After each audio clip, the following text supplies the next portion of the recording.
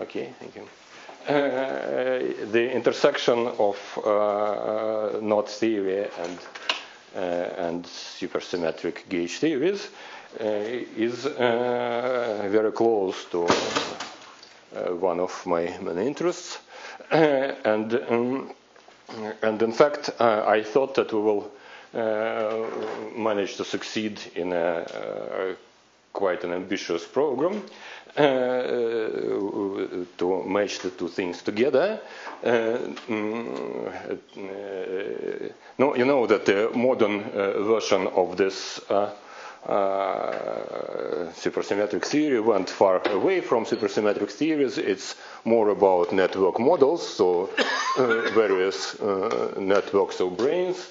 Um, what were branes originally, and technically these are just uh, convolutions of many topological vertices standing in all uh, places there, and this has deep relation to the so-called DIM Ding-Iohara-Miki algebra, its representations, and so on. And so, uh, and one of the natural things to do at one moment is to learn how uh, to use this um, universal building block, this topological vertex, in order to construct knot polynomials. So the, uh, one of the ambitious uh, things to do is to uh, develop a calculus of knot polynomials through the topological vertices. But unfortunately, for a variety of reasons, we uh, didn't move too far on this way. Uh, and actually, at the moment, uh, in detail only, a single example is studied. This particular link which mm, some people probably heard about. and, uh, and among this variety of reasons, one, one was quite scientific. And uh, it appeared that we, uh, uh we don't know enough about the uh, rather technical issue of uh, Schur functions and their generalizations, in particular the supervertices of even this contraction for L8 and 8 don't work quite well. So there are plenty of things which one need to study. So anyhow, we failed with this, so uh, I cannot tell you what uh, I wanted to tell a year and a half ago. Uh, so it's not yet done. Uh, and uh, therefore, when uh, Piotr asked me to give a talk, so I selected something rather special and and and simple. And uh, at the same time, he asked me to be as much untechnical as possible, what for me is not quite easy. Uh, and uh, but now I am absolutely puzzled after uh, Sergio told us yesterday that uh, instead I should say, say, something or everybody should say something mm, challenging or at least controversial. And no, no, I was trying to say understandable. Understandable, that's, that's, that's hardly possible. No, anyhow, so um, uh, a natural thing would be just to tell you, uh, to give you an overview of different things which we're, we're, thinking about, but since I already gave a title, I'll try to uh, follow it more or less close, though, uh, though instead of going deep on particular subjects, I'll go uh, around it. Uh, with the and I'll try to tell you things which nobody else will tell you because nobody else finds them interesting. but, but, I do. And anyhow, so the story uh, was uh, will be about generalizations of Schur functions. And maybe I should just uh, spend five minutes in reminding you what the Schur functions are. There is no good definition in any case. There are three different definitions, but uh, the simplest thing is just to start from examples. So these are functions uh, which belong on a Young diagram and on uh, infinitely many time variables, so P1, P2, and so on to infinity. And the simplest examples for the uh, knot diagram, which is one, this means, uh, sorry, for a Young diagram, which is one, just one box, is just P1. the second is uh, you can take either this box or these boxes, so antisymmetric and symmetric representations. So they will be these things. and so on. So there are some polynomials, homogeneous polynomials of these p variables, homogeneous with appropriate weight, and when you count pk with the weight k, so the grading is something like this. also, uh, plenty of others. Sometimes, uh, instead of these things, uh, one consider symmetric polynomials related to them by transformation, which is which substitutes pk by trace of the of some matrix X, then it is made out of eigenvalues, and then this will be, if it is just 2 by 2 matrix, this will become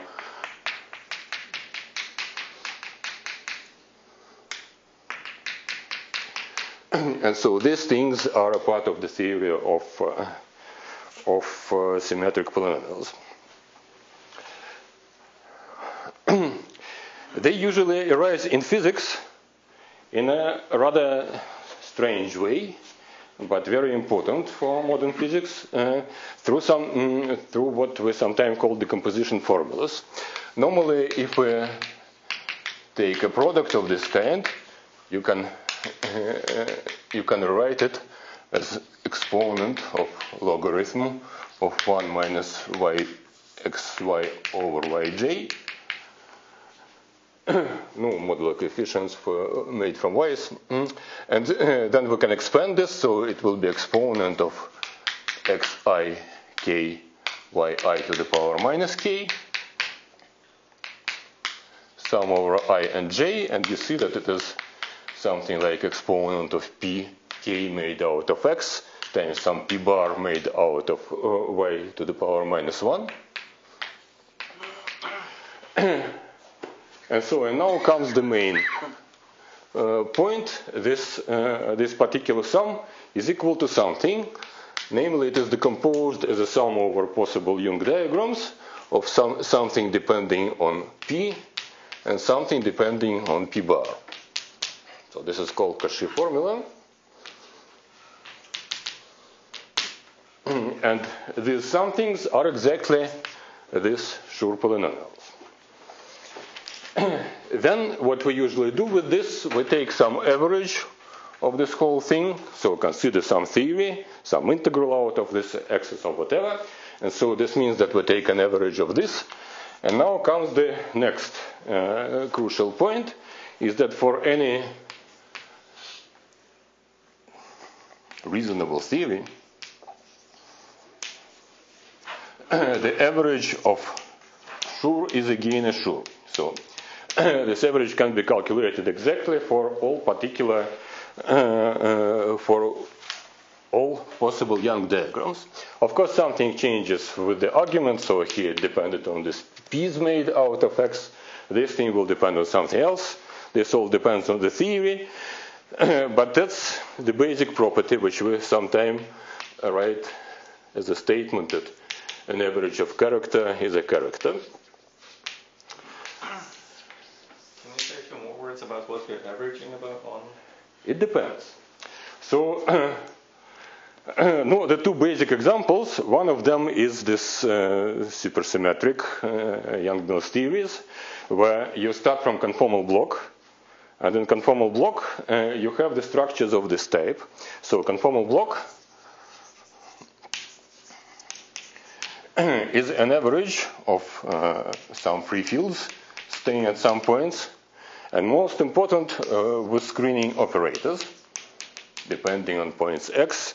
You know, and if there, there, are different screenings, there will be also y, so this usually depends on different contours. And each of them constant in, in any power. so that's an average over free fields, and this is conformal block. But that's not average of product of xi minus yj. Not all at once, yeah?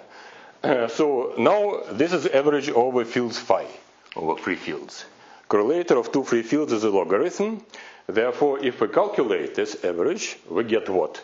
We get, uh, you know, for example, when these two things are coupled together, we get that i minus zj to the power alpha i alpha j.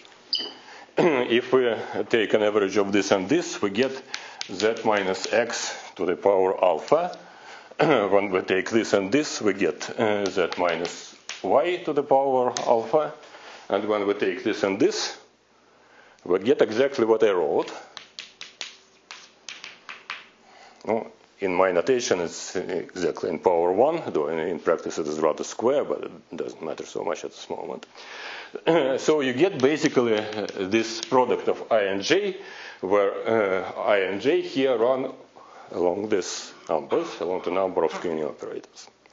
So we come to this problem, and the average of this particular thing is just taken an integral over all the x's and all the y's with all these weights. And where dependence of n plus and minus doesn't depend? Uh, it depends through the number of these i's and j's. So maybe, maybe I should write b, and so a runs from 1 to n plus, and, and b from 1 to n minus. and then what happens? So we started from conformal block, which was an average over free fields. Then we come to the thing which is an average of this thing, which is understood as an integral over x's and y's. Then we make all these manipulations, and so we need to calculate now this kind of average. And it's a remarkable fact that it is calculable and it is simple. It is called Selberg, or in more general constant uh, context, Kadell integrals, which have this spectacular property that when you average a Schur function, it's again something. It's a simple rational expression. That's one example. Another example is, I don't know, Ooguri-Vafa theory, when the role of this x and y's uh, are played by the eigenvalues of the of the uh, monodromy matrices associated. No, you know the story. So you take S3, then you take uh, Lagrangian submanifold and cotangent bundle. So some branes live on this S3, some branes live here, and uh, you, with this you associate to different contours, and uh, uh and and what you are interested are some correlators of uh, A fields living on the branes on this S3 and of A branes which of branes which live here, and so the eigenvalues. No, let me call them x and y and so again, you get a, an expression of this type. And in the result, now the average is over Chern-Simons theory with the action A, so it's quite a complicated thing, but again, it's exactly calculable. And what you get in result, in this case, is the Ooguri-Vafa formula, uh, which says that this is a sum over whatever it means. So this is Homfly polynomial for, uh, for a knot uh, living here, and the other things are converted into background charges, which are called p bar. So, so these are two you know, slightly different applications, but they are two about, uh, they are both about one and the same story. Is it an accident or is there a relation between Once again, it's not an accident. I said there are two ingredients. First of all, in many theories, you need to consider this kind of Vandermonde determinants. Yeah, it's not a. Mm, no, in Chern-Simons theory is very similar to conformal theory in many respects, so it's not very strange that you get this kind of objects. And another ingredient is that the averages can be taken exactly, so the theories are a, sort of correct ones. Correct usually means that they are a kind of theories of free field with quadratic Lagrangians in some senses, whatever it means. So that's, that's a separate long story. If you like, Andrei can give you a whole lecture on this uh, on this part of the story once uh, at other, other point. I'm just trying to motivate the reason why these things at all appear and how do they appear in physics. So they, at least in all the examples which I know, this is the origin. It's another story that, of course, you can you can cut uh, this at any place and say that, that I am interested in one particular problem. For example, I am interested in calculating the average of p exponent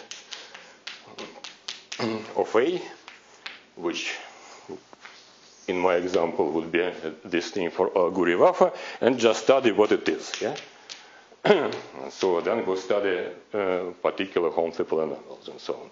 But uh, just the, the, if we start from original physical problem, that's the usual route, and I don't know any exception from this rule that, that something arises in other ways. but in any case, uh, this is not what I am going to discuss at all. Uh, I, am just illustrating how these Schur functions appear, but I am going rather to discuss this kind of particular problems, what uh, to do in particular cases. Though here, of course, the most interesting is in that part of the story is understanding of this thing which we sometimes call superintegrability.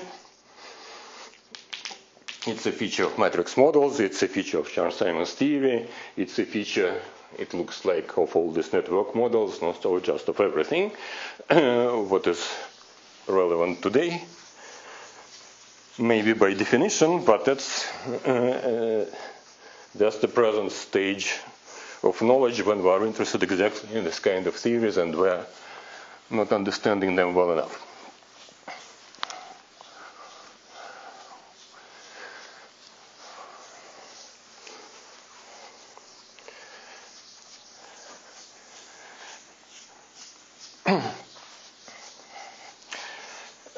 So, as I said, uh, uh, these Schur functions don't have any real definition, no, uh, which would be free of any drawbacks.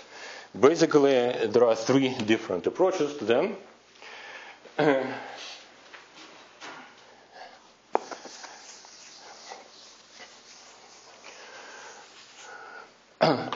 One is this integrable, integrable properties, no, expressed by this, uh, by this kind of statement, that a clever average is again more or less the same, only the arguments change.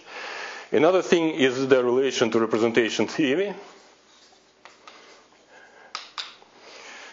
and the third is that they are eigenfunctions of something clever.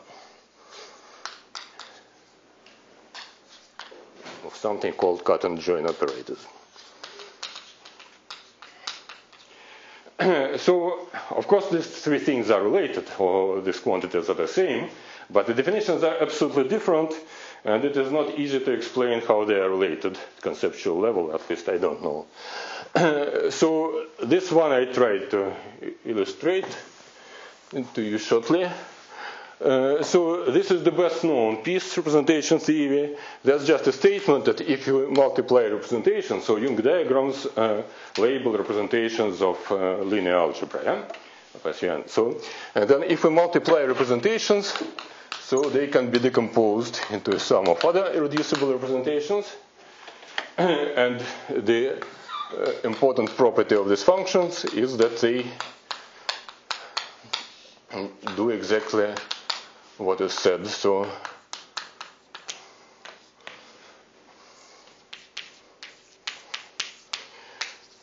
and these are some integer coefficients called whole little uh, Littlewood-Richardson coefficients, sorry, which are integers and they are mostly 0 or 1. Sometimes they are 2 or 3. This means that representation comes from some multiplicity on the right hand side.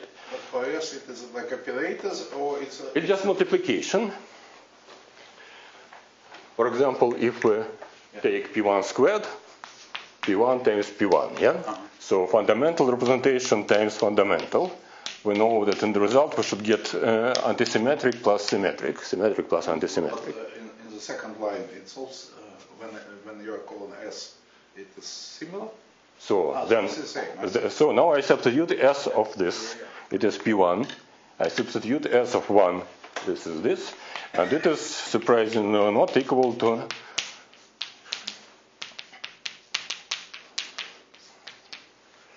and this is how it works always.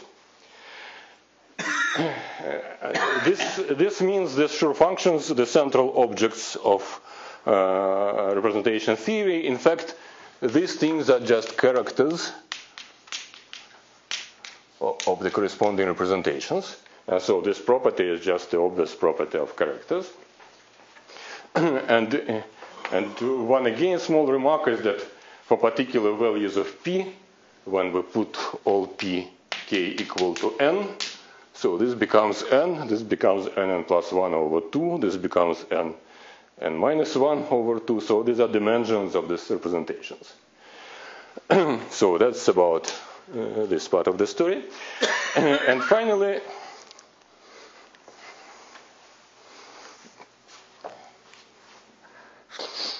there exists a set of operators which are differential operators with respect to these p variables, so which themselves depend on Young diagrams. They all commute, and, uh, and these uh, Schur functions are their common eigenfunctions. So there are infinite set of these operators, and so uh,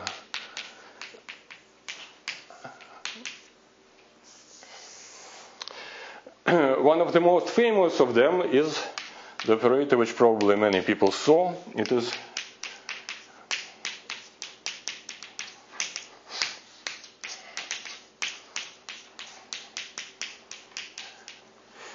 this is the reason why they are called cut and join operators, because in some sense these things uh, cuts and, uh, and joins different circles if you associate variables p with the circles. Now, whatever. So, a simple way to understand what these operators are is to say that in terms of that x variable, this uh, matrix x, which I mentioned here, they're pretty simple. They're made just from traces x d over dx to various powers, and these powers are just the length of the lines in the diagram. So it's a product over all lines in the diagram delta. in particular, for the diagram 2, we would get just uh, trace x d over dx squared. so in terms of x, this is second order operator, and in terms of p, it's also second order, but if we write this in terms of free fields, this will be already d phi cube if uh, we introduce the phi field as pn z minus n over n plus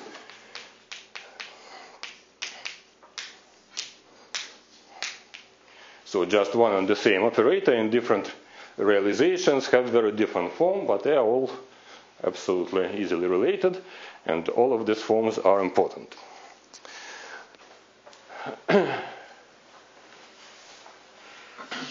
so this is a set of infinitely many commuting operators, and they have common eigenfunctions, and these common eigenfunctions are Schur functions. Also, there are absolutely different sets of operators for which there are also eigenfunctions. And uh, to understand their structure, is, it is useful to use this representation in terms of field phi. and so the other operators have a very different form. They are just exponents of this phi, only taken at two different points. no, and after that you take an integral over z, so pick up a pick up a zeroth power of z, so it equates the number of derivatives and uh, p's in, in the formula. So that's a very different kind of operator.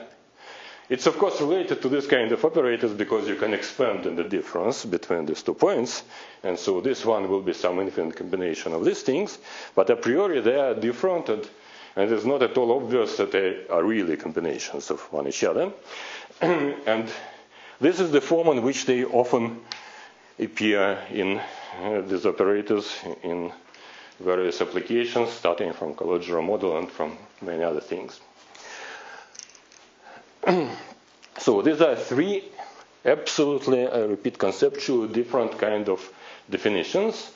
one from representation theory, another from this uh, from this eigen, eigen, common eigenfunctions of something, and the third from this uh, spectacular property that you can average something and get exact results. So that's uh, far-going generalization of Selberg and so on formulas.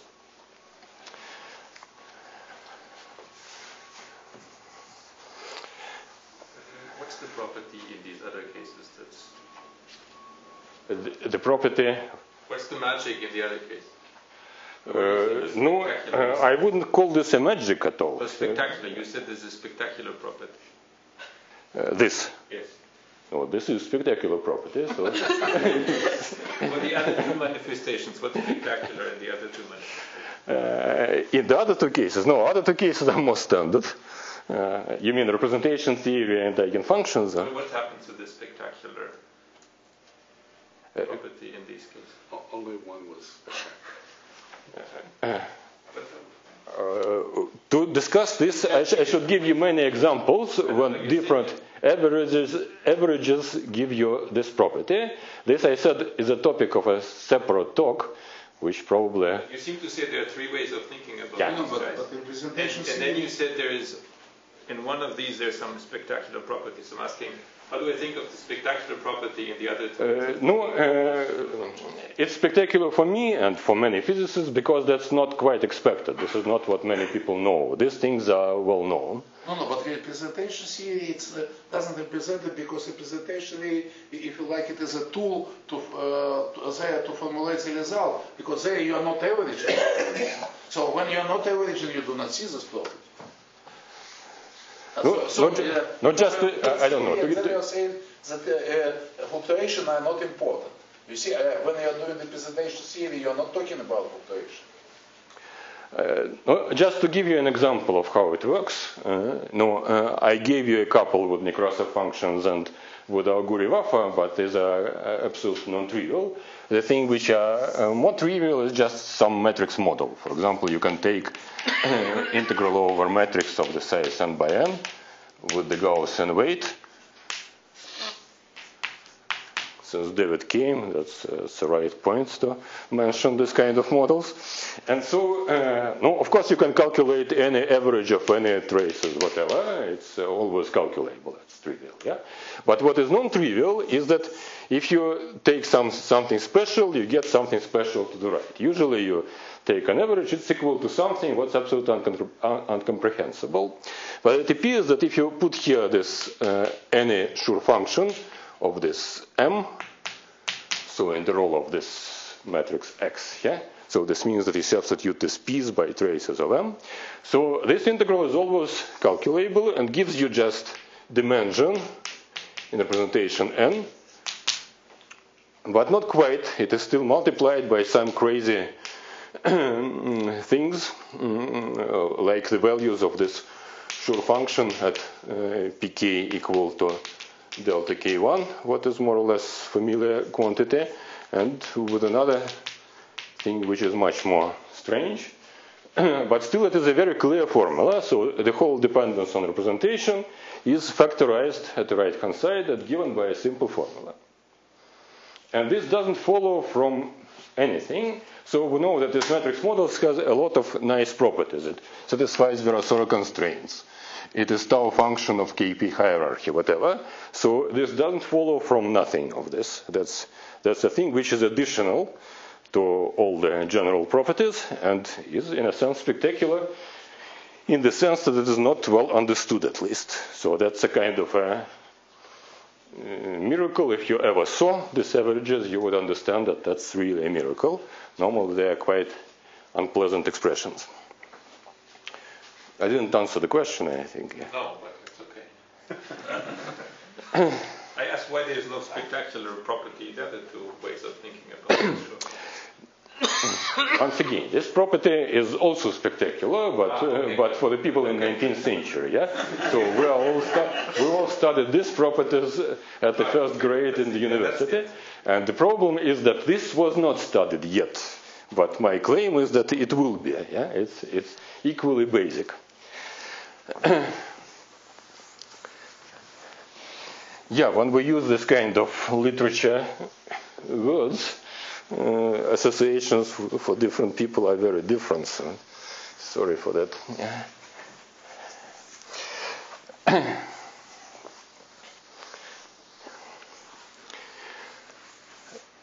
so, as I said, uh, my announced topic are generalizations of Schur functions, and uh, there are at least four different directions. All of them are very important and to some extent hot and and absolutely unclear, at least to me. so, or whatever set of this x, whatever you prefer. so, Schur functions. So you can go in various directions. The first generalization are tau functions. so this more or less well-known KP Kadomtsev-Petviashvili tau functions. so first of all, Schur functions are tau functions themselves. and uh, also all other tau functions are the linear combinations, but with nonlinear relations. So the requirement is that uh, a sum of such things for some coefficients psi is a kp tau function if this coefficients psi satisfy Plücker relations, quadratic relations. but in some sense, uh, this is a very straightforward deformation in the sense that it is very well studied and it is uh, very well known in modern physics and applied in infinitely many places. Because what we usually expect is that even if we take the average, which is not nice, not a clever average, but any average in quantum field theory, it always gives you a kind of a tau function at the right hand side. No, so that's a, an old and long story, and I will not go into this direction at all.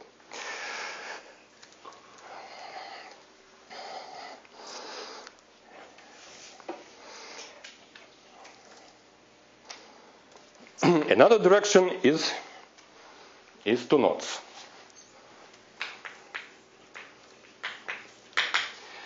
And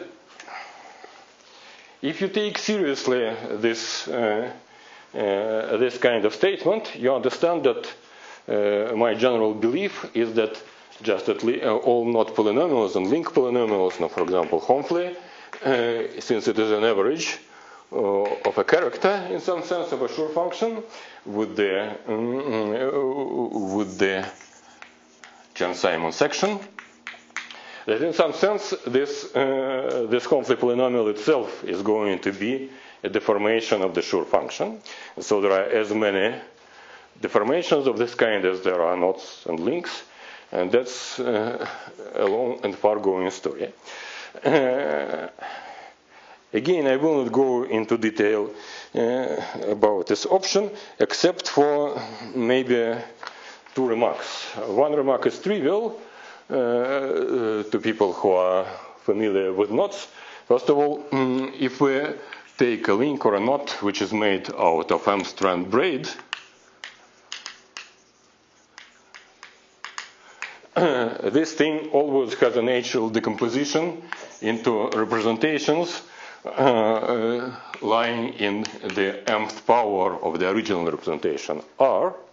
And, uh, uh and so there are some coefficients depending on r and q on these two representations. And the basic ingredient are quantum dimensions and representations q. So this is basically how it depends on mm, mm no, make, let us say so. it is not very helpful in the sense that calculating these coefficients is quite a problem, uh, a big problem.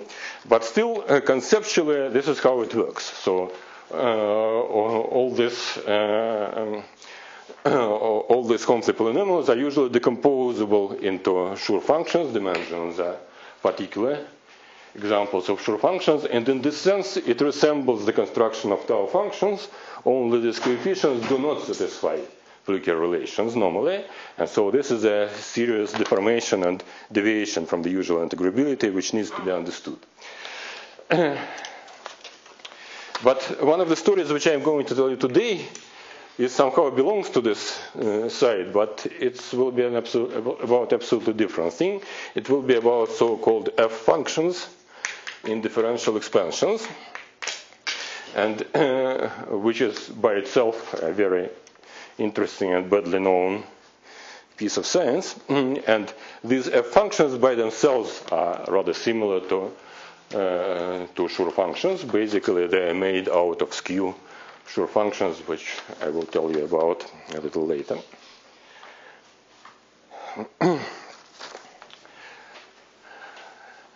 So the second kind of deformations goes to knots.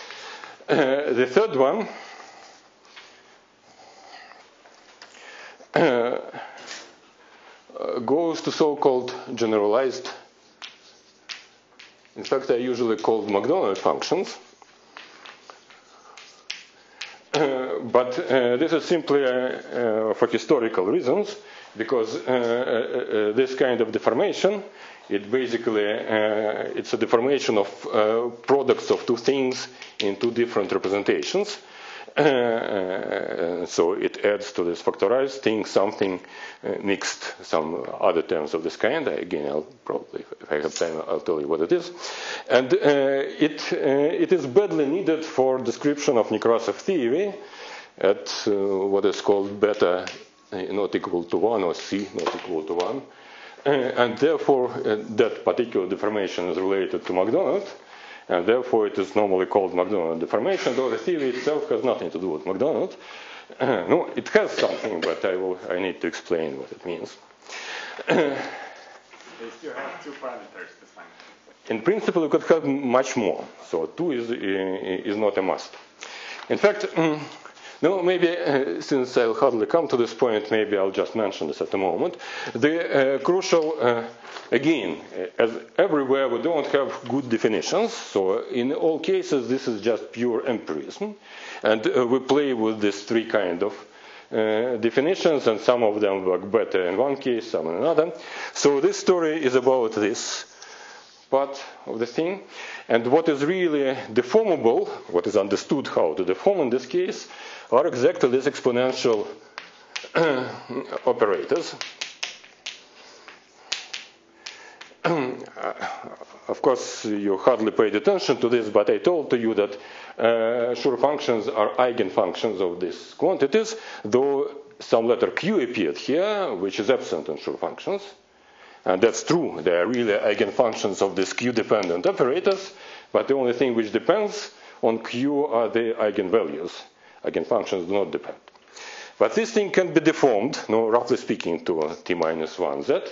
And then eigenfunctions start to depend, and eigenvalues start to depend, and moreover, you cannot live with just a single uh, function, you need two immediately. So if you try to diagonalize this kind of uh, Hamiltonians, you immediately get something more sophisticated.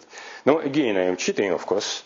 So what you should really do, you should take this operator h, you should add to it another operator with some coefficient. so this depended on variables p, this will depend on variables p bar. so then Macdonald's will be eigenfunctions of this thing, this anti-Macdonald's, so to say, would be eigenfunctions of this thing. And there is a mixing thing, which is a spectacular triangular operator, which it is made out of things which act like this. So differentiate with respect to p bar and create p's. So in this sense, all the things which depend only on p are not changed. So all the functions which look like as r of p times nothing, they are still eigenfunctions. But the functions which are 1, 2 times s r of t bar are no longer. Instead, instead they get mixed with something else. So to construct an eigenfunction of this thing is quite a problem. But it's nicely resolved in this theory of generalized Macdonald polynomials, but not really nicely. You can construct them, but not much is known about their properties and so on. But one can wonder why these are only Macdonald polynomials. And in fact, you can easily generalize this thing further by saying that you take several operators of this type, for example, with several points z. so just multiply several h's of this type, or add several h's of this type. this will change the operator drastically. It will change it from this one had what I call rank 1 property, because if you look at it hmm, carefully, you will see, no, you see here exponent of phi, yeah, so exponent of p and zn in particular, and we already know that this is decomposed into Schur functions. there is another piece of operator which contains z minus 1 d over dpn, And it is a combination of Schur functions of d over dp. And then you pick up, uh, you, you multiply them and you get a product of these two things. But in this double sum, actually surviving will be just diagonal terms. and uh, so you will get at every uh, at every power of p, you will get a function of p only times a function of d over dp only, and there will be just a single such function in, in each degree. And this is a kind of a rank one property. And this is what distinguishes Schurs themselves and Macdonald's themselves. If you want to generalize further, beyond Macdonald's, to pair of functions, for example, you will need several such terms at every place. And this is achieved by taking several such operators acting at different points z. So it's a different kind of generalization than to say plane partition. Yeah. Listen, another question. So uh, you mentioned several physical realizations where Schur functions play a role. What's uh, the role of H in any of them? Like in Ooguri-Vafa, can one say what? Of generalized? Uh, I don't know what is the role in Ooguri-Vafa, unfortunately, though most, mm, yeah. my suspect is that all this will appear in super generalizations, really. But anyhow, uh, the role, uh, they appeared, they necessarily appear in this theory of Nekrasov functions. There's integrals of uh, x minus y, which were just as contour integrals.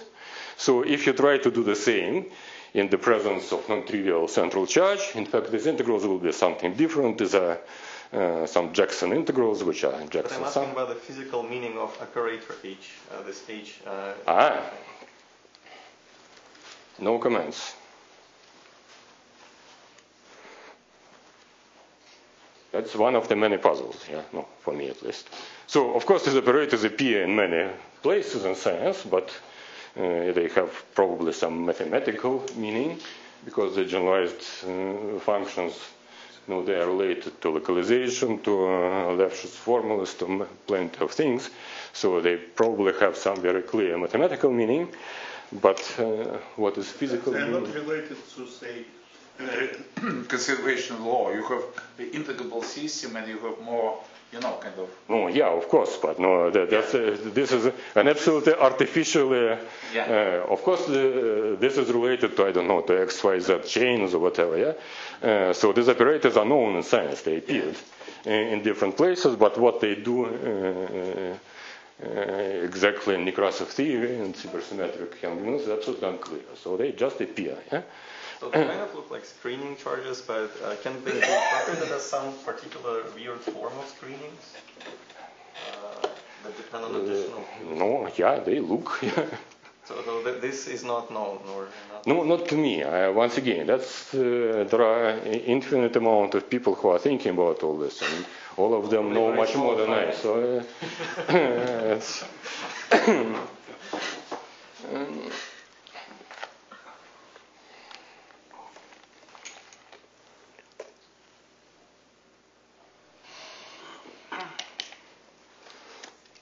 and so, and the last direction which I also find very important, and it is, in my opinion, absolutely crucial for this kind of studies, though again, nobody thinks this way. But still, that's, that's uh, deformation from Young diagrams to plane partitions, which Peter anticipated. so to the theory of what I prefer to call three Schur functions, because in some sense uh, Young diagrams are two-dimensional, and plane partitions are three, three-dimensional. and, and in fact, uh, in what follows, I'm going to concentrate on these two particular subjects. Uh, uh, they're very much interrelated in my head, but I cannot explain this, so they will be absolutely separate stories. So um, I cannot uh, find any any rational uh, explanation of what is in common between all these things. but certainly there's something. When you write formulas, uh, everywhere all the same kind of problems appear in very different form, but just the problems are exactly the same. And so I am absolutely sure that that's all about the same thing, but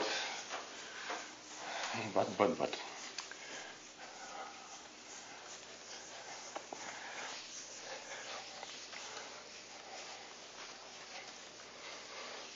And of course, this has no direct relation to what I mentioned between the relation between tangle calculus, knot theory in this modern form of tangle calculus, and and topological vertices.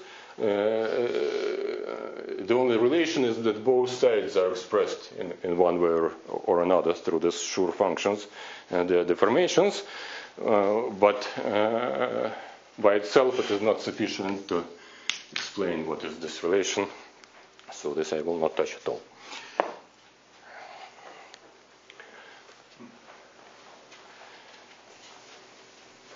So you, now you can, for the for the next stage, you can forget absolutely all what I said so far, because it will be an absolutely uh, subject in itself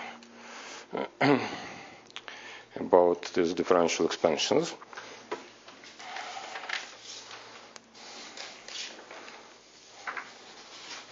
Let me see what I wanted to tell you about them.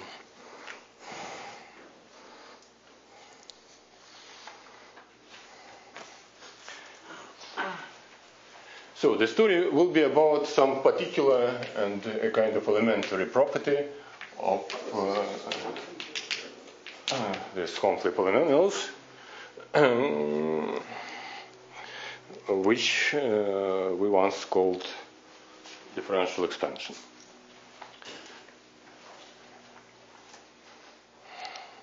In fact, the whole story will need uh, only three inputs about Homfly polynomials. You don't need to know anything else about them at the first stage, at least. Uh, so we need to know some facts that for a equal q to the power n, this object becomes this Chern-Simons average.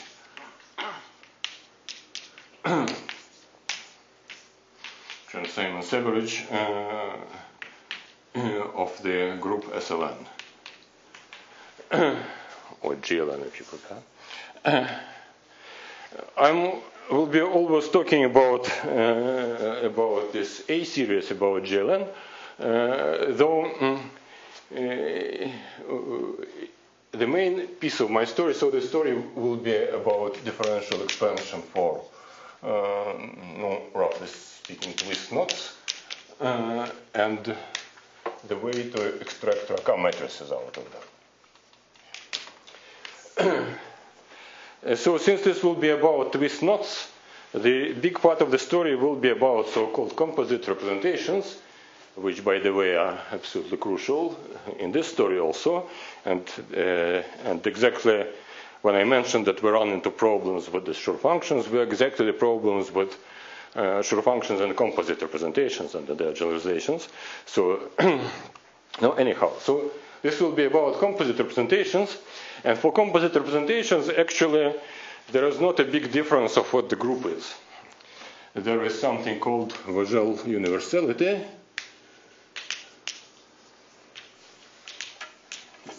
Saying that a big part of group theory can be formulated without direct reference to Dynkin diagram. Instead, you can define some quantities depending on just three parameters, and substituting different values for these parameters, you get the answers for different groups. Uh, the simplest example is dimension of adjoint representation, now which for SLN is n squared minus 1. Yeah? it appears that there is an absolutely universal formula for it, uh, which I always use this strange notation because it appears everywhere in all the sciences. Uh, so you write something like this plus cyclic permutations. So a product of three such differences, V, W, U.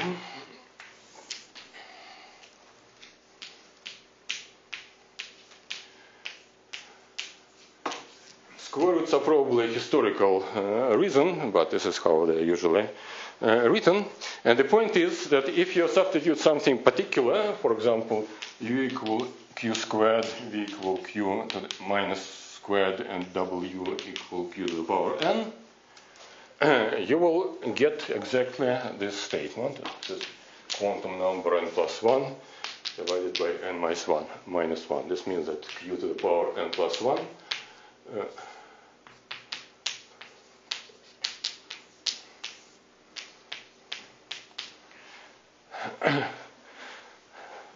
the result here is minus. uh, no, probably it's simpler to check uh, not on the blackboard, but that's a simple exercise.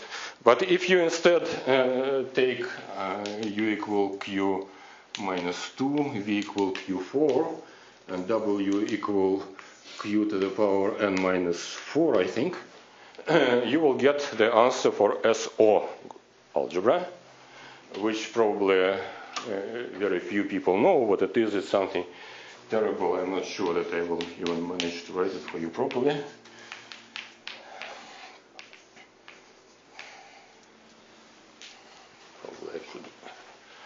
You can either deduce it from this formula.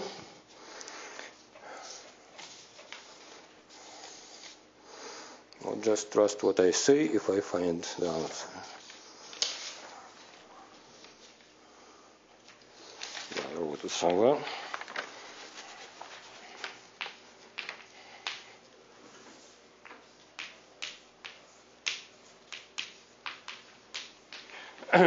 So the classical answer is of course simple. If you substitute, if you delete all the square brackets from quantum numbers, you get just n, n, n minus 1 over 2. Uh, but the quantum dimension of adjoint representation of uh, SO algebra is this terrible number. And believe this or not, it is reproduced by this uh, simple and universal formula. so But there seem to be more UV than there are groups. I mean. Of course, yeah, that's the point. So what are the other? The. This is the question which Vogel asked us something like 30 years ago, I think, and still nobody knows. So this includes everything. So uh, all the exceptional groups are here. So just particular values of all these things. The only problem is you cannot ask any question about group theory. Only a piece of uh, group theory based this universality. Vogel himself thought that this is a, a, piece of group theory which is made out of joint representations and its descendants, products, and so on. Uh, no, more or less uh, similar to a subspace of composite representations. But in fact, it appeared to be wrong. And in fact, historically, he deduced this uh, idea looking at, uh, at knot theory, and surprisingly or not, the result was that uh, this universality holds only for questions about group theory, which have something to do with knots. The typical example, again, is that no, you can write, I wrote here, the simplest possible dimension of the joint representation. Fundamentals, of course, do not obey this. So that's a simple exception, yeah. but you can write similar formulas for many other dimensions in this uh, class of descendants of adjoint. In most cases they work, but sometimes they don't. But if you look at what happens when you uh, try to get these representations from knot polynomials, you will see that such dimensions always come in sums. So you sum two representations, they are degenerate. And the sums obey the formula, but each dimension by itself does not. So the story more or less returned to where it started. So there is some distinguished part of group theory, first distinguished by this E8, so to say, sector where everything is made from joints, and second by considering only, asking only proper questions about this, and then you have just universal answers. But that's the reason that for many cases, including these twist knots, it's not really important to uh, ask what I'm considering Hopfler or Kauffman polynomial and so on. So they, many of them come automatically uh, from one another because, in fact, many things can be done just directly in terms of these variables. So all the Racah matrices can be formulated in terms of them, not just many things.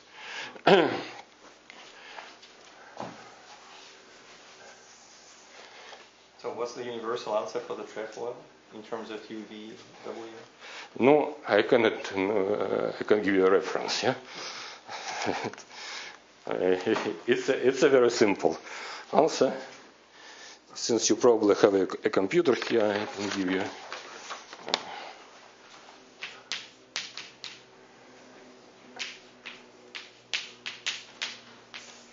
In fact, the answers in universal form are known for these uh, special representations for all arborescent knots. No, for almost all. No, uh, for those which include some matrices of uh, mixing matrices of the size 6, this means just a lot, but not everything.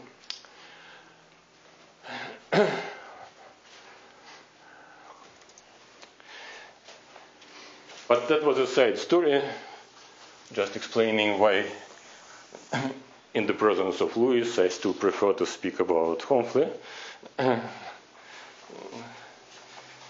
because I know a little more about it, though many things can be easily generalized without any special effort.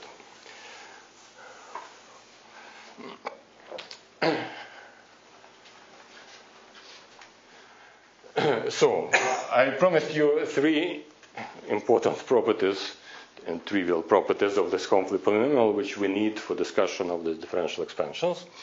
Uh, so first of all, at a equal qn, so this hr becomes uh, this average, and uh, and uh, the main moral of this is that uh, it then inherits all the properties of representation theory. In particular, if you take R, which has number of lines which is greater than n, you should get triviality, 0. When it is equal to n, you should get 1.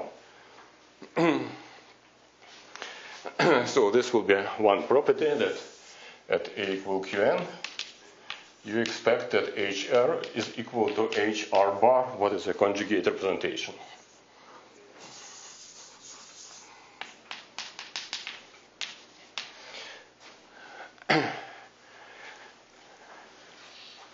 Another two things are, no, this looks rather innocent, but has consequences. Uh, another thing is that if you switch from a diagram to transposed one, recently I learned this strange notation for transposition. Uh, I don't know if it is common or not. Now let me write it transposed. Uh, so then uh, it is related to original Homfly by just changing q to the q minus 1. In fact, minus q minus 1, but this doesn't matter because everything is usually of odd, of even power and q's in my addition. and the third property is that if you put q equal 1, so you get uh, a function of a only, then uh, this uh, Homfly for as a function of a only is usually just a power of the fundamental one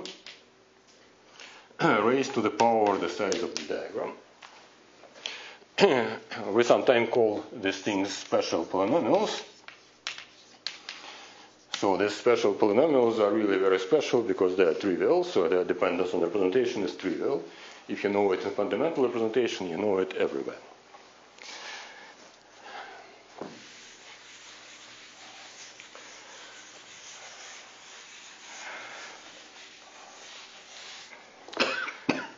Still, from this uh, simple facts, uh, one can immediately deduce elementary corollaries, which are still interesting.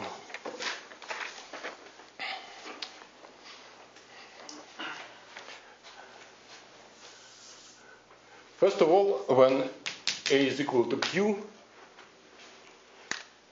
this means that we get to represent in representations of nothing, of U1, so we expect the Homfly polynomial equal to 1. from the properties of representation theory. This means that H1 uh, minus 1 is going to be divi- divisible by A over Q.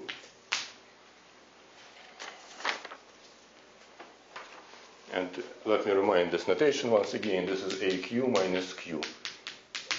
A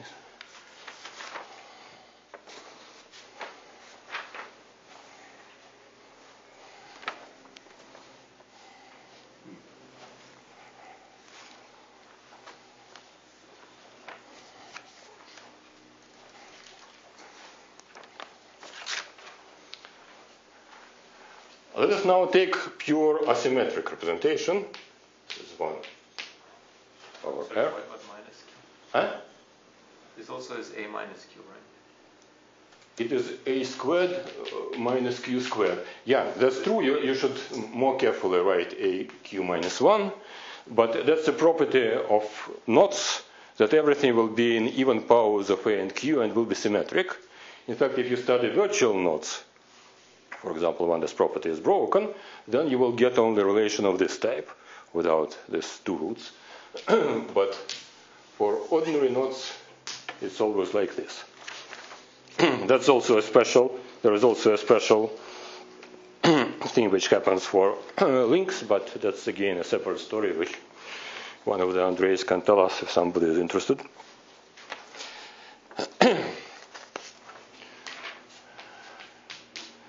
Then, according to this conjugation rule, when a is equal to q to the power n,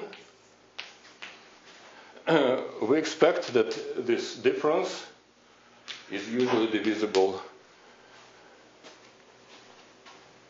by a over q to the power n. So when a equals to q power n, the diagram and its conjugate, so this is n, so we have r boxes, we have n minus r boxes, so we expect these two representations to be equivalent. So according to this rule, we expect that this difference should be divisible by a over q to the power n. In fact, of course, it also contains uh, uh, contains this factor, uh, not just as a corollary of the previous exercise. Now, if we use this property 2, we can transpose the diagrams and write a relation for symmetric representations.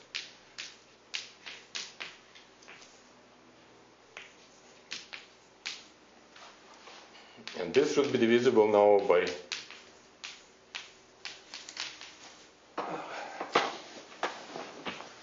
something like this.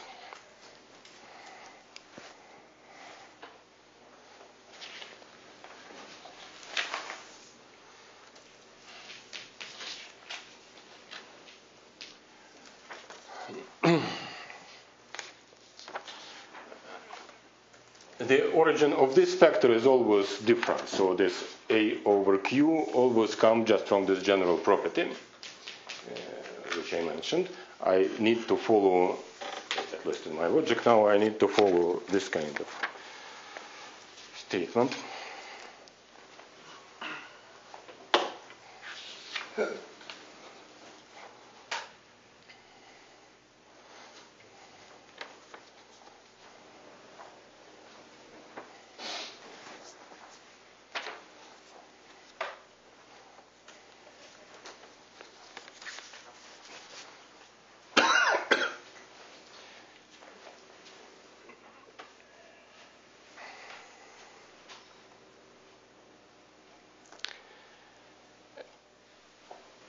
Since this diagram is transposed to itself, it follows that this difference also is divisible by a product of A and Q. So the statement number one, which we get out of all this, is that any Homfly polynomial or anything, for any knot, in the fundamental representation has a form 1 plus some function of a and q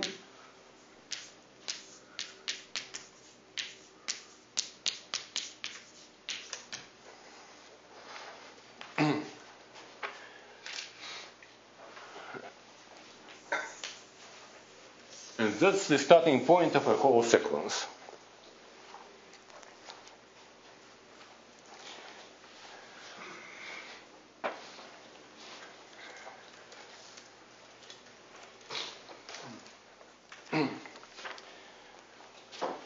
Get a sequence, we need to apply these things now, these two relations, many times one after another, eh?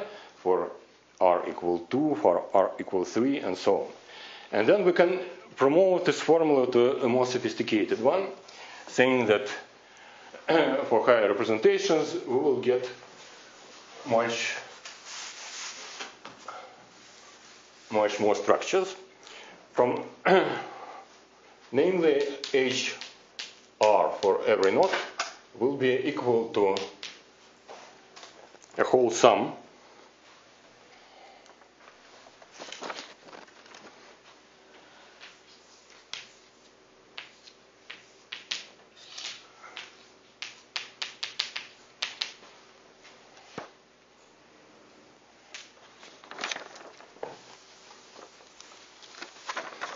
And here we will have, have a whole product of this type.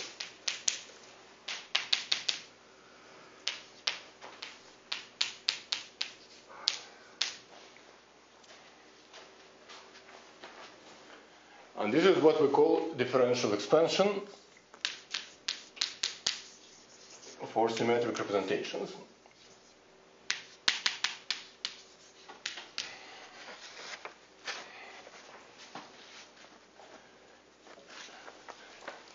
I can try to explain you how it works, but I, am not sure if somebody wants to follow all the details.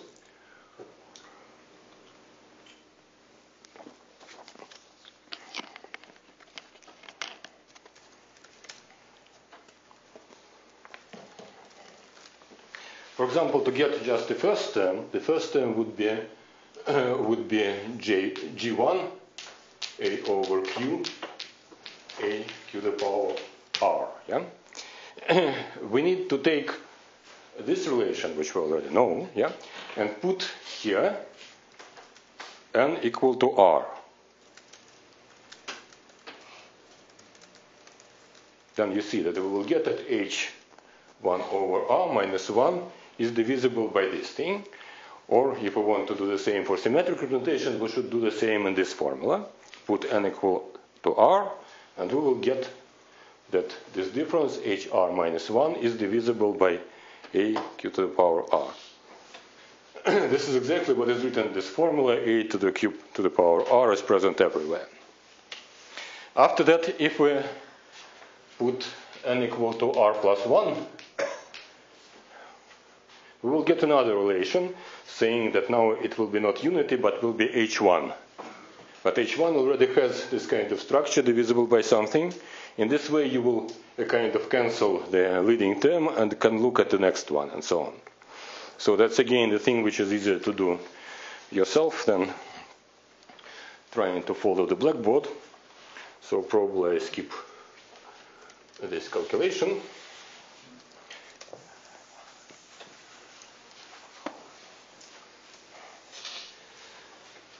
But first of all, this is some statement. This says something about the structure of Homfly polynomial, something absolutely universal and following from some very basic features of representation theory.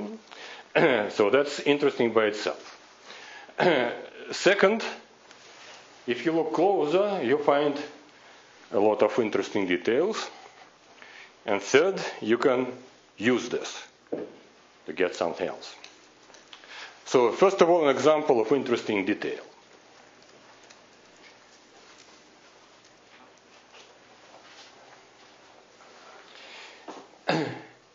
so this, uh, I said, is universal. It is always like this. But if you look at every particular knot, take any particular knot, calculate this thing, and look at it, you will see that this quantity itself is not always irreducible.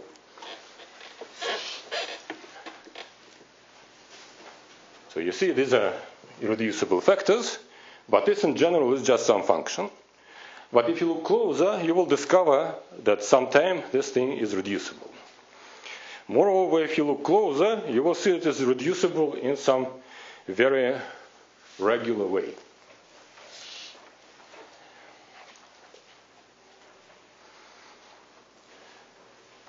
Moreover, this way appears to be intimately related to the structure of Alexander polynomial. As we will see in a second. Alexander polynomial is a thing uh, uh, which arises from Homfly, when you put a equal to 1. As I said, when you put q equal to 1, it just trivializes. When you put a equal to 1, it's an absolutely non-trivial quantity. And we already heard a, a whole story about Alexander polynomial last week. So that's quite an interesting object. the reason why it is related to Alexander polynomial is that uh, this breaking of irreducibility of G is very regular.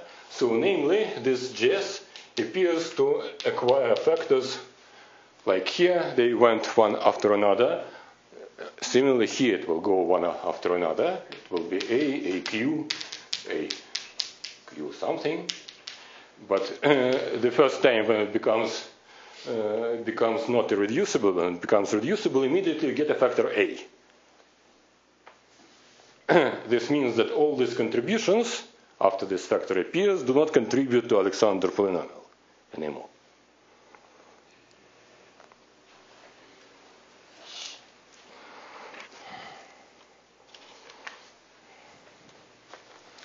So now what is the statement? So this GS, also there, uh, there remains of course another irreducible part, but there is now a reducible, so it is a product of this type, and it goes uh, so 0, 1, 2, and so on, up to some power which, uh, let me, which I denote like this, some coefficient nu. So it of course depends on the knot, but it depends on, on this s on the number, and it depends on it in a very funny way. It is, and here, entire part, of the ratio s minus 1 divided by something. And this something is just an integer number characterizing the knot. And from what I said before, it is not a big surprise that this delta k is related to the power of Alexander polynomial. It's not a surprise, but that's, uh, that's not, uh, mm, this doesn't follow from what I said. so, in other words, every knot has a particular quantity, which we call defect of this differential exp expansion, and it is equal to the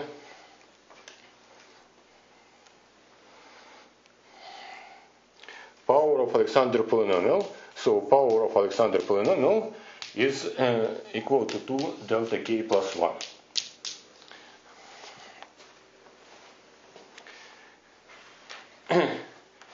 this means, in particular, that many terms of this expansion for higher representation vanish for Alexander polynomials, but in a very special way. And so there are knots of different kinds. So this defect can start from minus 1. when, when it is minus 1, this means that all these terms contain A. This means that the Homfly is equal, uh, that Alexander polynomial, sorry, is equal just to 1. This first of all happens for the for some famous mutants at 11 intersections, and they are examples of things which have this defect equal to minus 1. Then there are plenty of knots which have defect equal to 0. This means that for them, this expansion, differential expansion, is very much enhanced. it contains not only a single sequence of this type, but two sequences. So it's a product of two things, uj minus 1 and r plus j.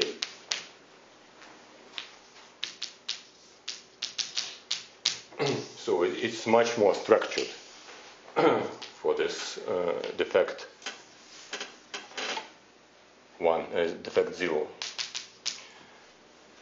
And in particular, all the twist knots are of this type, and uh, some other big family which I will need at the next stage, which is called double braids, and so on. Can you explain again how delta is related to this new, or what do you want? So it grows linearly with S. So this power grows linearly with S, but not as S, but S divided by something. So S is the, S is the number uh, of the term in this expansion. so this is something like the sub Yeah. representation there.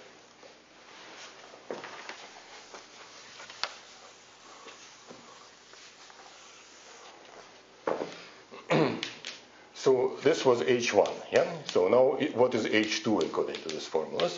It says that you know, there is some coefficient, in fact, in fact it is 2, uh, and the same term.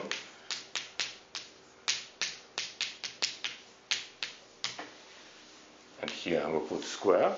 And there will be a next term, which is G2 AQ, AQ cube, AQ squared, and A over Q. This is what is written here. Likewise, the next term will be, so G3, there will be Q to the power fourth, Q cube, Q5, and A over Q. So this will be for H3, and so on. Now I see that sometimes you can extract an additional factor of A from here. So instead of this, you can write F2 times A added here. Yeah? If you do this here, then it will obligatory appear in G3. So you will have this factor A and moreover one extra factor AQ. But if it didn't appear here, it can first appear here, and then it will appear just in the first power, A. And the next time it will appear in, the power, in, in G5 only, not in G4, but in G5. This means that this number of terms here, number of terms, is equal to this new, and it grows as either as S, so either in each term you get the whole collection of these extra factors, or it grows like S over 2, but not s over 2, but the integer part of it, of course. Yeah, so it jumps. Or s over 3, much slower. So first time appears in representation number 4, and so on. So that's some absolutely strange and uh, unexplainable structure, but it exists in all the examples which are available. But it comes only from this, no, no, the, No, it comes from nowhere, just a fact. It's the, these relations you wrote, they only give you this first line. No, no. You, you, This is the general statement. yeah, but you derive this from the fact that HR and H n minus R are related. Yeah, yeah, this you can derive. Yes. I explained you how to do this for the first term, and uh, even for the second I didn't explain this, but you can apply this uh, thing several times and you will get it. So this is deducible. But this additional factorization, no, at least I don't know how to deduce it. I, I'm telling you just a fact. There is additional structure. Absolutely mysterious. Moreover, this defect also controls the dependence of this first coefficient on q. For example, when defect is equal to zero, this thing is independent of q, the first term, g1. Have you or somebody tried to relate delta to classical invariants? The fact is that nobody knows about this, first of all. It is written down, but nobody reads this. So, but uh, so I, I, I certainly don't know how to relate it. Of course, I tried, but I didn't find any matching. But I'm pretty sure that any uh, educated person will do it immediately. Um, but just So you do i- not, i- it's one of the uh, few attempts to attract attention of you do educated not need people. to explain it, you need just to write another stuff who, who nobody would, would read again. Yeah, exactly.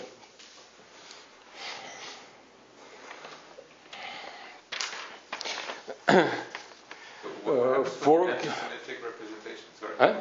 Do you have a similar story for anti-symmetric representations? Uh, Yeah, the story is absolutely the same for antisymmetric representation. Only you should uh, you should switch it uh, all the q's to minus uh, to q to the power minus one. So it will be a divided by q to the power plus b, and so on.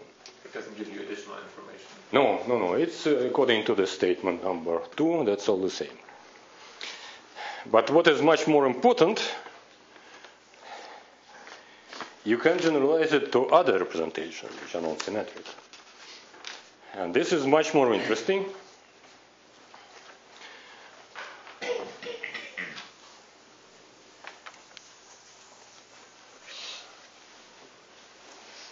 And even useful for some applications like calculation of Racah matrices.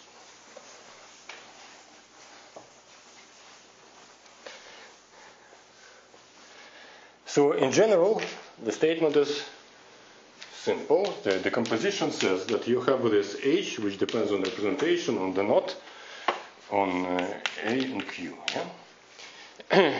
and so, as is more or less clear from these formulas, so you will have a structure which is 1 plus some sum.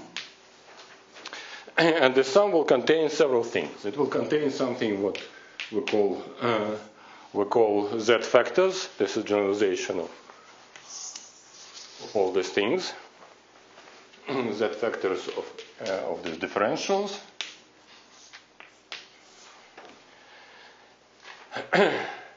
it will contain some combinatorial factor.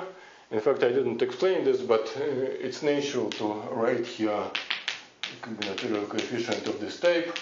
It's more or less obvious from this last property, which for the special polynomial, which I raised for you. Know, anyhow, so so there will be some combinatorial coefficient here, and there will be this function f.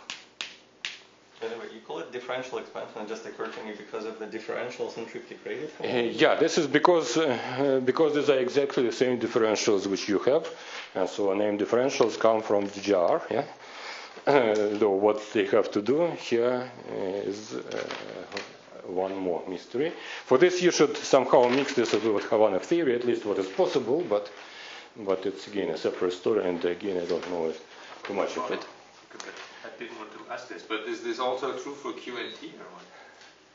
It is true for QNT. Yeah, it Yeah, has. the. It has. The only question is what stands to the left. Yeah. That- That's the point.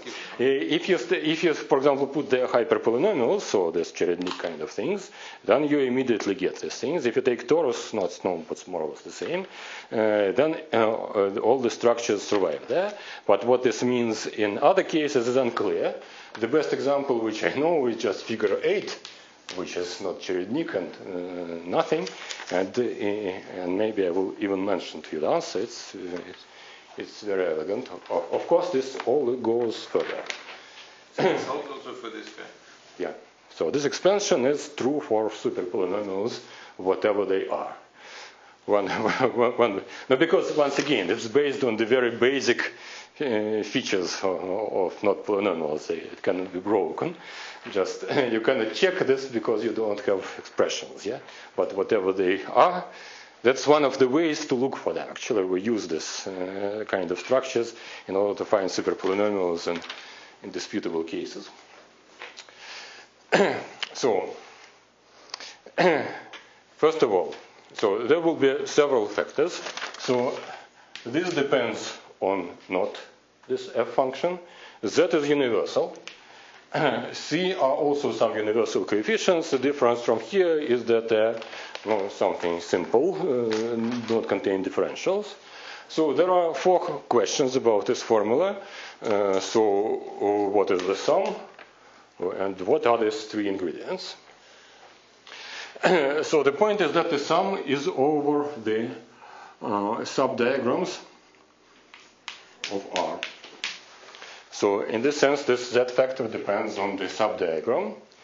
And it's not a big surprise that after that it is given by, by some kind of hook formula. I won't write it to you, uh, write it down to you, but no.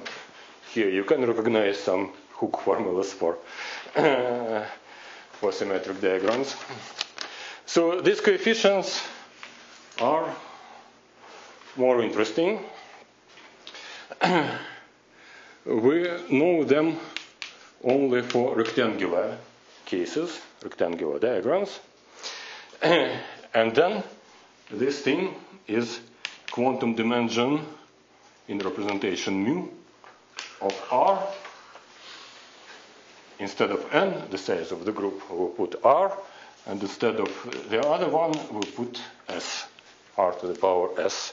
Now, one of the diagrams is transposed here. So this is about the C in the rectangular representations.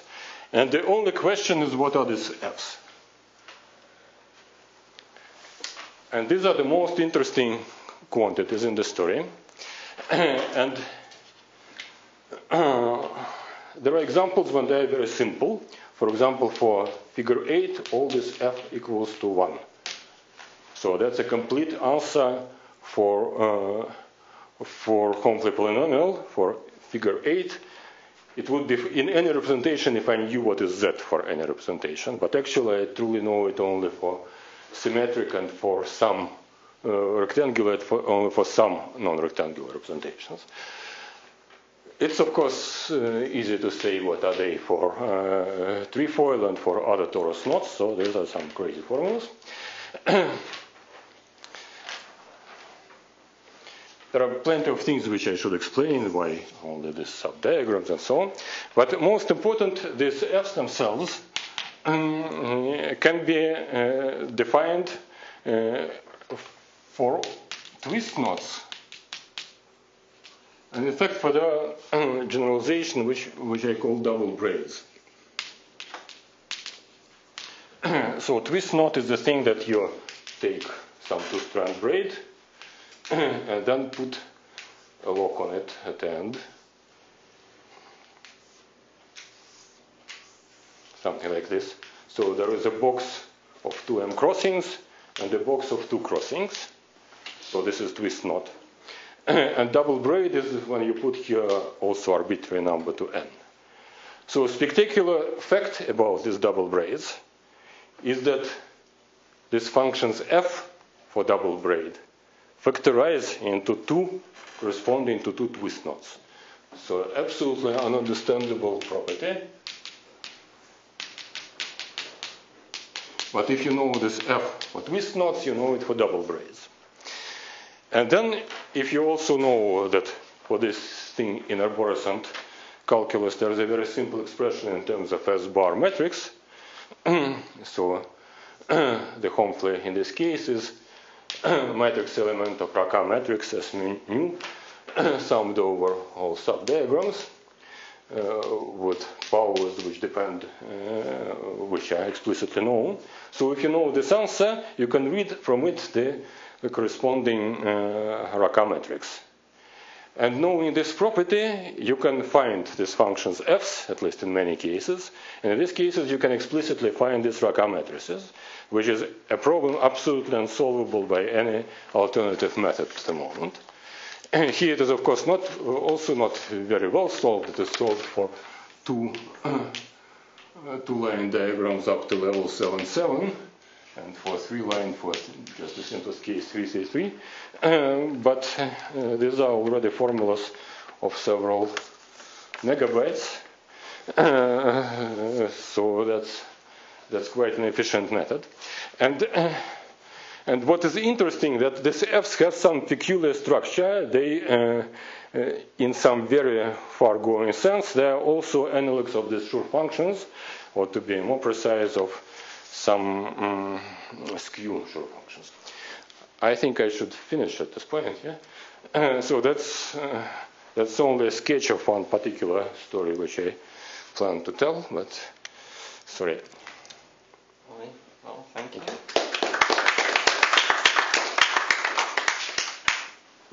Other questions? So what's the relationship with the Ding-Iohara in the last piece or not? Not in this piece. Uh, no, the theory of these f functions is absolutely mysterious. So these are some strange expressions uh, which uh, definitely have structure.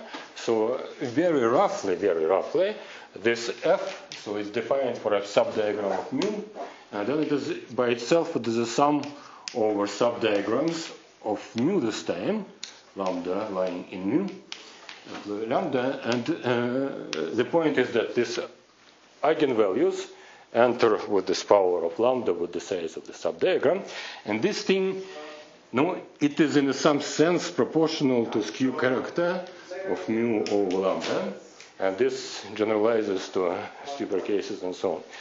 Uh, but the real structure of them is absolutely ununderstood. Uh, and uh, for me, they were just related to the story about Schur functions, and uh, and relation to DIM goes in absolutely different direction. So that's that's one of the other arrows which I drew. and uh, and as I said, for me, the most interesting part in relation to DIM is not uh, is actually these three functions, which I think incorporate all the information about Macdonald's and so on. The problem mm, with no, my problem uh, with uh, with DIM is that they deal with this. Uh, first of all, we know how to deal only with very particular representations there. some products of Fock representations, something like that, and we use this uh, through this terrible uh, technique of Macdonald and generalized Macdonald polynomials, which is very difficult and unbeautiful. And it's absolutely clear that that's not the right thing you should do. The right thing you should do, you should study rep- these MacMahon representations, and you should have the clever embedding of this uh, of these Macdonald functions into these MacMahon things. It appears that when you start looking at these three-dimensional plane partition Schur functions, they are absolutely ideal objects, very nice, extremely nice, and there are plenty of miracles which happen about them. First of all, they shouldn't exist if you try to define them, but they do, and so on. There are plenty, of, plenty of funny things happening to them, and and the difficult part is to embed Macdonald functions into them. It is easy to embed Schurs, but embedding Macdonald's is a very unnatural operation there. And if you look closer, it looks like you don't need Macdonald's at all. Uh, that uh, what is naturally embedded is something more general, what is called Kerov functions, so with more parameters, not just two. and uh, since I repeat, nobody thinks in this direction, we don't know anything about what is really true and what works, what not, what doesn't. But my, at this moment, my uh, personal opinion is that instead of studying Macdonald's, you should study the Kerov functions, of which we wrote some time ago, because all the relevant features of Macdonald functions raise to the Kerovs, and the Kerovs seem to be to have appropriate number of parameters to be embedded into these three functions. So that's and and topological vertices, as we know them today, they essentially define in terms of Macdonald functions. And if you look closer where I define this way, no, it's arguable question, but my personal feeling is that just the answer for them was uh, more or less written from the answer for Hopf uh, link polynomial. Uh, and, uh, and it's very something absolutely special, and it relies upon some very special properties of Hopf. Which, uh, which I immediately broke on at all other stages. Moreover, even if you try to, to use this Hopf and try to uh, get a refined version of it, already the properties which you needed break down, so they don't work in the same simple way. Therefore, I, have, I personally at the moment have serious doubts about the relevance of topological vertex for many things existing it's again, we should be careful because, of course, it is relevant because it is an intervening operator in particular between particular representations of algebra. That's uh, out of question. That's true. Uh, but uh, the fact that we pick up these particular representations can be completely misleading. It can lead to overcomplicated formulas. But no, I repeat, that's my personal opinion, which uh, nobody shares. So we should leave and wait what will happen. Yeah? it's not an answer, but uh, it's a statement. It's not an answer. But. Can you comment about how this context is related to Lincoln, uh, to link homology situation?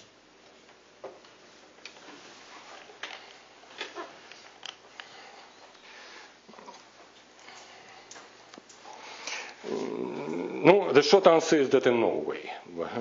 But of course, I don't think so. Um,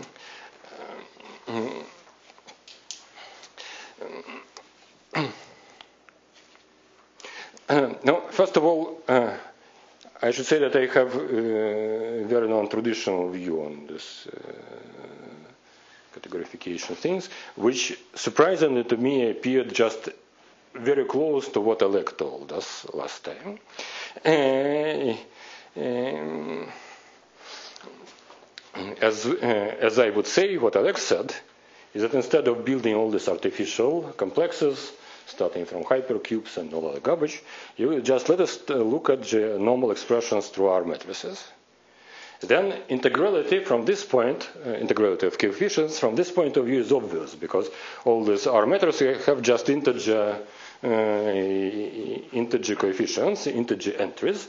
So if you just look at the expression for uh, for Homfly made out of matrix elements of this uh, R matrices, it's by definition it, by definition has integer coefficients.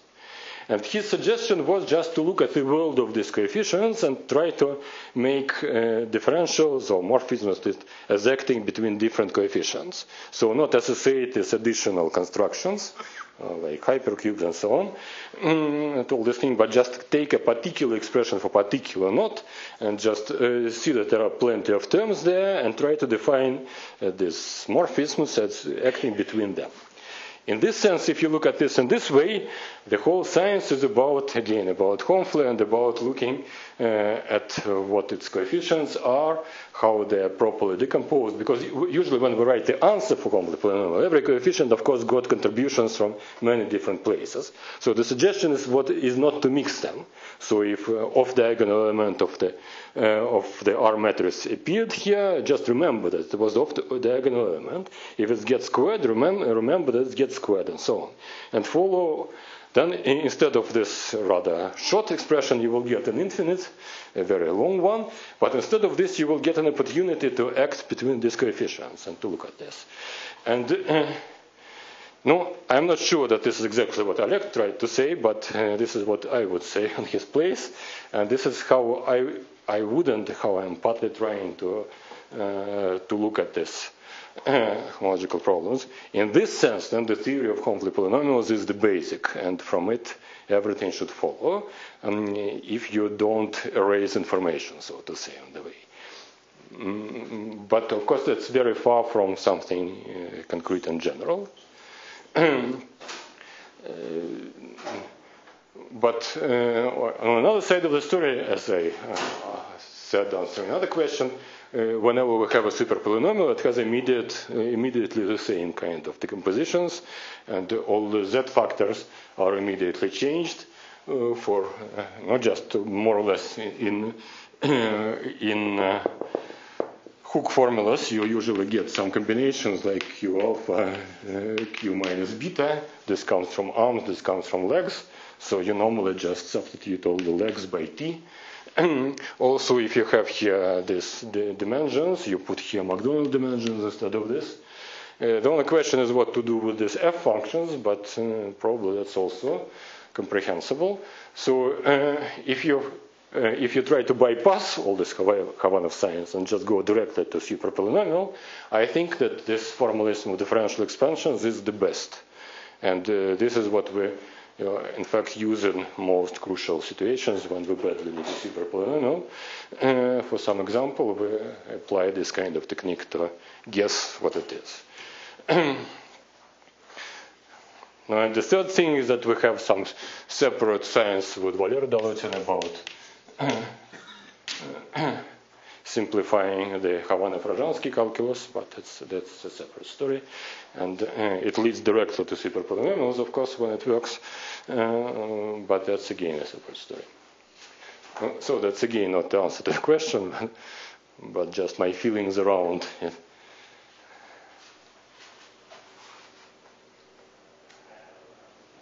So you mentioned that uh, again the, there was this last uh, generalization of Schur functions uh, in terms of plane partitions and Schur Yeah.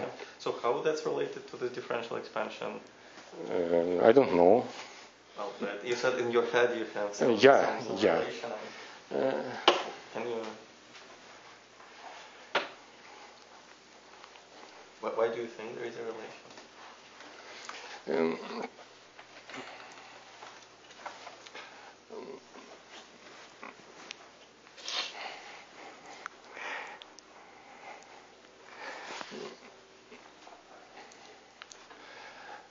you see, the main, uh, the main thing with all this, uh, with everything which takes us beyond conflict polynomials, is usually one and the same problem. We lose group theory.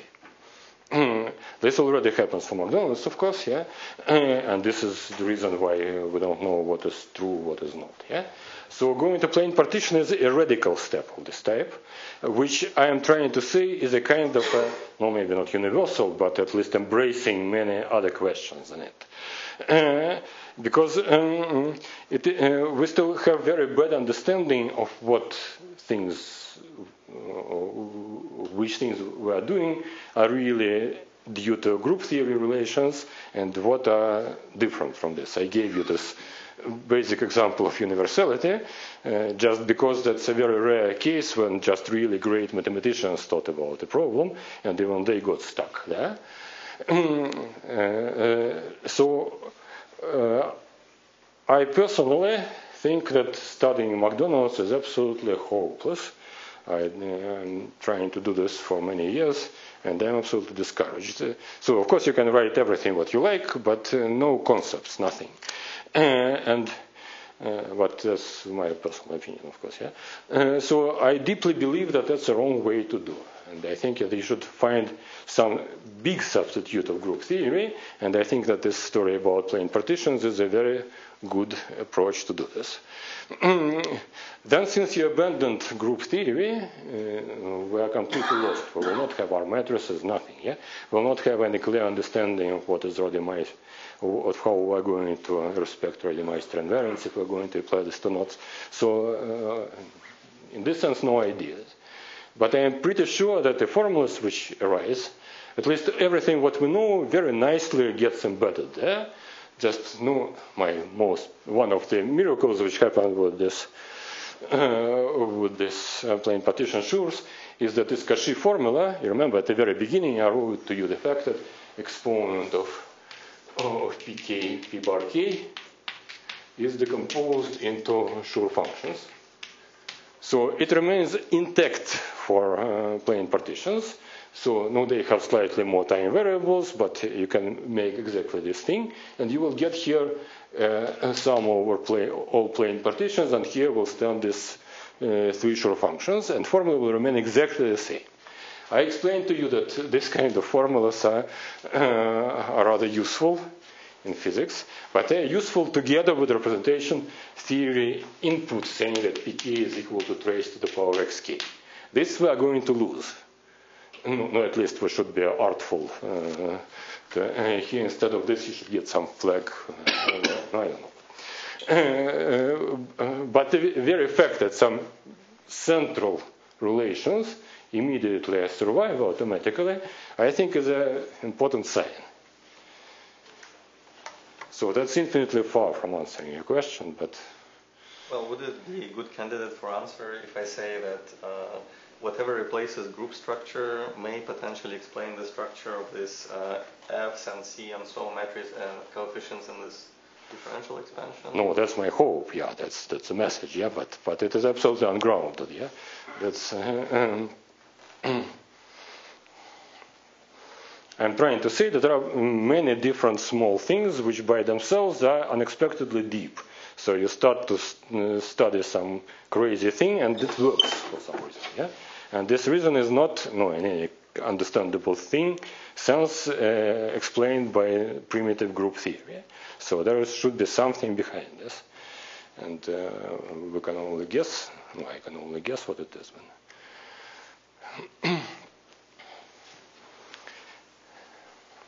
Other questions? Well, if not, let's thank Alyosha for inspiration.